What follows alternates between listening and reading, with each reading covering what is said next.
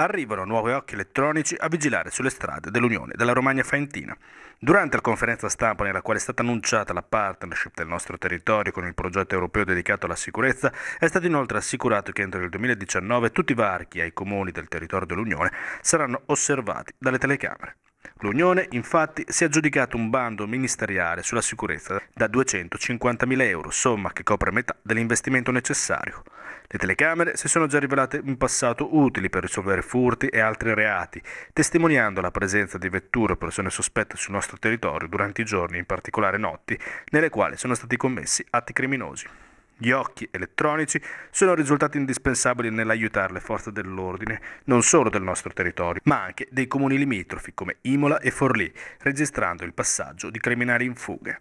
Accanto al progetto della videosorveglianza, l'Unione tenterà di estendere anche il progetto del controllo di vicinato, in modo da monitorare meglio il territorio e il livello di sicurezza percepito dai residenti.